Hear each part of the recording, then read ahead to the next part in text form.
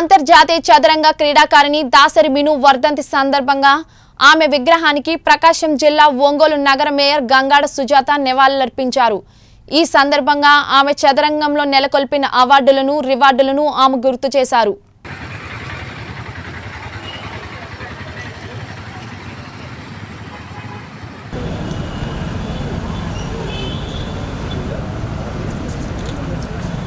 ఒకసారి అట్లా అట్లా పట్టుకోండి.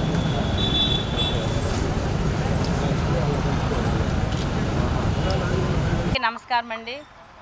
ఈరోజు దాసరి మెను మరి మన వద్ద నుంచి ధృవతారగా ఎగిసిన రోజు దాదాపుగా ఇరవై సంవత్సరాలు పూర్తయినా కూడా ఇంకా ఆ తల్లిదండ్రులు ఆ బిడ్డని ఎంతగానో తలుచుకుంటున్నారు బాధపడుతున్నారు. మన అందరికీ కూడా ఎంతో తీరని లోటు.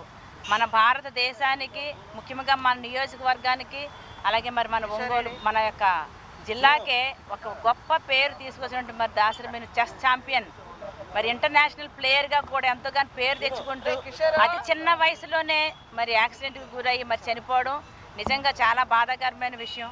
నిజంగా అమ్మాయి కనుక బ్రతుకున్నట్లయితే ఈ రోజున మన యొక్క భారతదేశము మన యొక్క జిల్లా యొక్క పేరు మరి ప్రపంచ నలు దేశాల్లోనూ కూడా మారుమ్రోగే పరిస్థితి ఉండేది.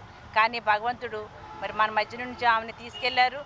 ఎప్పటికీ కూడా మన మన మనతోనే ఉంటుంది. ఆమె యొక్క జ్ఞాపకాలు కానీ ఆమె ఆమె చేసినటువంటి యొక్క ఘనకార్యాలు కానీ ఇటువంటి అవార్డ్స్ రివార్డ్స్ అన్నీ కూడా మనం ఎప్పటికప్పుడు గుర్తుపెట్టుకుంటూనే ఉంటాము. ఆ బిడ్డకి మనశాంతి ఆ- బిడ్డకి ఆత్మశాంతిని అలాగే ఆ తల్లిదండ్రులకి మరి మనశాంతిని ప్రసాదించాలని చెప్పేసి మనసు. దాసరిమిను ఇరవై ఒకటవ వర్ధంతి.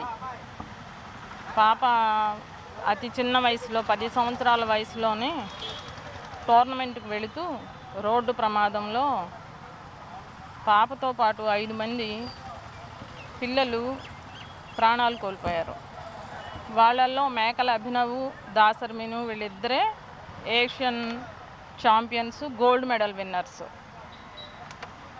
Mekala Abhinav పేరుతో వాళ్ళ కోదాడలో స్టేడియంకి పేరు పెట్టారు. నల్గొండ జిల్లా కాబట్టి నల్గొండ జిల్లా హెడ్ క్వార్టర్స్లో మేకల అభినవ్ పేరుతో అప్పుడు ఉన్న స్పో అప్పుడు combined state Andhra and Telangana కలిసి ఉన్న స్టేట్లో ఆ బాబు పేరు నల్గొండలో స్టేడియం కట్టున్నది కాబట్టి దానికి పెట్టారు. మనకు ప్రకాశం జిల్లాలో ఈ మినీ స్టేడియంకి పెడతానన్నారు కానీ నేను నిన్న చూశాను. ఆనంద్ గారి పేరు పెట్టారు.